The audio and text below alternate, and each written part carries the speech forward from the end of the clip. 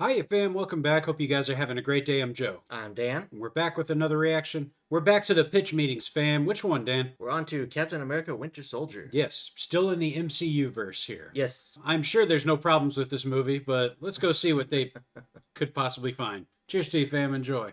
Oh, you have a Captain America sequel script for me. Yes, sir, I do. It's called Captain America the Winter Soldier. Oh, the Winter Soldier, huh? Let's see what that's all about. Yeah, I'd much prefer if you didn't Google the title. Oh, the Winter Soldier is Bucky Barnes, Cap's friend from the first movie. Way to spoil Yes. Was that supposed to be a twist or something? Yeah, it's like this big mystery during the whole movie. Oh, well, maybe you shouldn't put the Winter Soldier in the title. I mean, I'd have to come up with another title and everything. Uh, yeah, I guess that is like a whole thing. yeah, I mean, people that don't use the internet will be surprised. They sure will. So what's the movie They about? will. Oh, well, we're Yeah. gonna find out that Hydra was secretly operating within S.H.I.E.L.D. this whole time, so the whole agency's compromised. What? Yeah, pretty crazy, right? Yeah, it sounds super cool, but doesn't it kind of mess up some of the movies we've made already? What do you mean? Well, like that means that in the Avengers, Hydra actually had the Tesseract. Oh, yeah, I guess they did. Also, why would Hydra let Nick Fury put together the Avengers in the first place? yeah, I guess they wouldn't have allowed that to happen. We also had Tony Stark go into S.H.I.E.L.D.'s computer in the Avengers and see all their dirty little secrets. Yeah, I guess you would have noticed the giant evil organization lurking within. You'd think, right? But it's gonna be a cool movie, though. Oh, it is. Okay, then. Yeah, so anyway, Hydra wants to launch these three helicarriers, and these things will kill They're people cool. by the mm-hmm. 1000000s Okay. And Nick Fury starts to figure out that something fishy is going on, so Hydra tries to assassinate him. Uh-oh. Yeah, well, luckily everybody has horrible aim, so he does pretty well for himself. Oh, good. But then the Winter Soldier shows up. Oh, Bucky shows up? Well, yeah, but we don't know that it's Bucky yet. Yes, we do. And he shoots an explosive thing at Fury's car. Why didn't they start with that? They wanted to play with the little guns first, I guess. I don't know. Fair enough. Anyway, then it turns out that Nick Fury dug a hole in the ground and escaped through there. Oh, How do you do that? Tight. Ugh. That didn't sound good at all, did it? Not at all, sir. My bad. So anyway, I guess Bucky chases him down the hole. Oh, no, no. that's where the scene's gonna end. But isn't Nick Fury all banged up? He can't have gotten far in a little tunnel. The scene's over. I don't know what to tell you. Well, okay then. Anyway, so then Nick Fury's gonna go to Cap's apartment and be like, "Hey, buddy, Shield is compromised." Oh. and then he's gonna get shot and he's gonna die. For real? Of course not. Yeah, I didn't think so. Why would So he? then Hydra is suspicious of Cap and they try to take him out when he's leaving Shield headquarters. Oh, so they're gonna shoot him or something? No, they're gonna send some guys to try to take him down in hand-to-hand combat. Seems like a pretty dumb strategy. I think Yeah, so. like this is Captain America. Obviously, don't try that. Does it work though? Of course not. Right, obviously. Yeah, Cap is gonna jump out of an elevator and escape on a motorcycle. Very exciting. But then an attack plane thing is gonna get in his way. oh man, is it gonna be hard for him to take down an attack plane thing? No, it's gonna be super easy. Barely an an inconvenience. Oh really? Yeah, we're gonna do this cool thing where physics stop mattering. We are? Yeah, he's gonna jump from his Good motorcycle to the plane thing. Then he's gonna basically play pinball with his shield, which, by the way, is a boomerang now. Wow. And later he's gonna meet up with Black Widow, and she's just gonna keep asking him about his love life the whole movie. She's a girl. Yeah, and they're gonna Yes, find out thank that you. Zola kept his consciousness alive in a computer system from the 70s. Zola is in one of the bad guys from the first Captain America movie? yeah, yeah, yeah. Wow, nobody really ever dies in Marvel movies, huh? No, Yeah, they do you think don't. That's gonna be less and less surprising every time we do it. I mean, as long as we don't get too crazy with it, like let's not bring back Red Skull one day or something. yeah, that would definitely be overdoing it. Oh yeah, that'd be mm. weird. Anyway, then stuff is oh, getting boy. really bad, so they need to find someone they can trust to help them out. Oh, so who do they go to? Well, obviously, they get in touch with the Avengers. no. What? This movie doesn't have the budget for Avengers. You're already pushing it with Told Black you. Widow. But we've established that they all exist in the You're same right. universe and they trust each other. I don't know what to tell you, man. Man, it feels like it's gonna be hard to make solo movies now that the Avengers came out. Yeah, I mean, why do you think we're heading to space with the Guardians of the Galaxy this year? Alright, I guess I'll throw in a scene where Captain America meets like a friendly guy while he's jogging or something. and that guy will turn out to be kind of a superhero. I mean, I guess could be Falcon from the comics. that works for me. Well, all right. Just then. throwing this together on of the need, fly? They turn Why to not?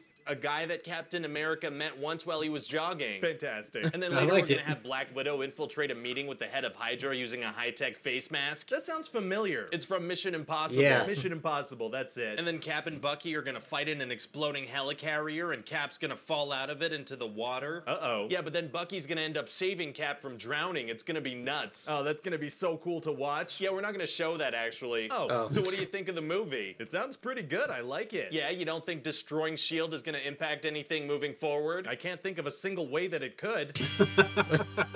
Uh, yeah. Nonsense, man. Nobody cared about that.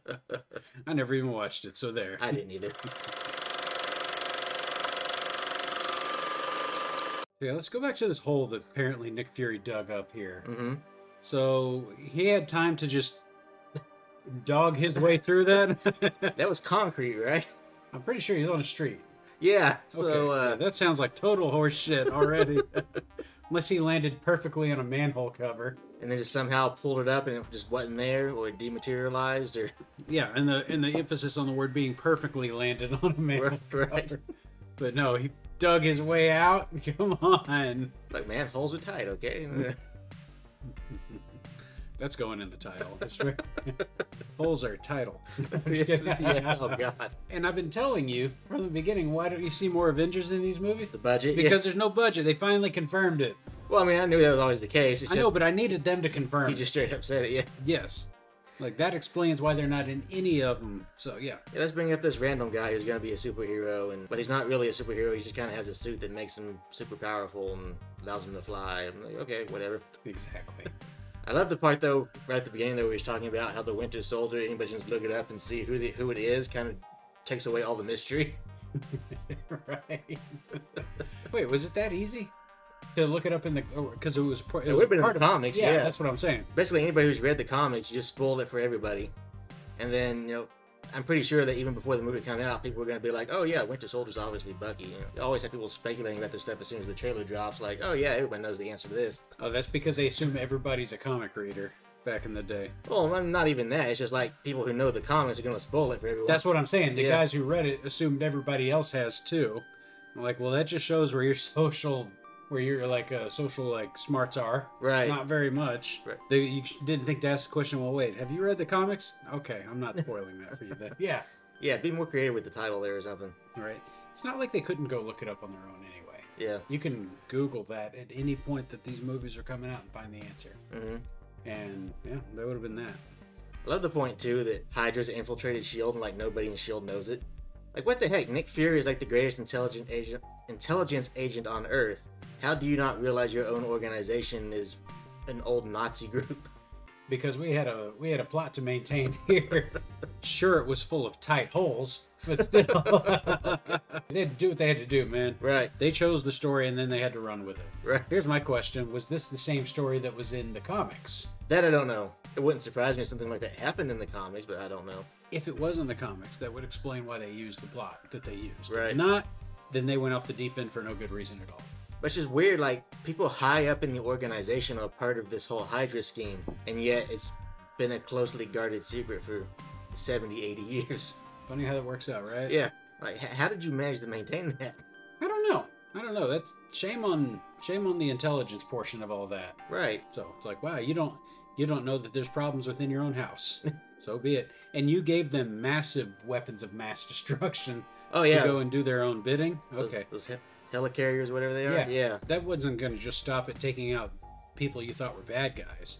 That was going to go into making sure you maintained supremacy over the planet. Right. You stopped them in the tracks somehow, Good on you. I don't know how, but good on you. right? Bam, fill in the gaps for us there. I don't think either one of us has read the read all these comics. So if you know what the plot of the uh, Winter Soldier portion of those comics was, let us know, guys. Especially if it made sense to anything we saw in the movies here. But as always, be sure to like, subscribe, hit the bells, check us out on those things up top, and like and subscribe again. As always, this is Cocktail Flicks. I'm Joe, I'm Dan. and we'll catch you on the flip side. Cheers to you, fam. Cheers to you, Dan. Cheers to you, Joe. Later, guys.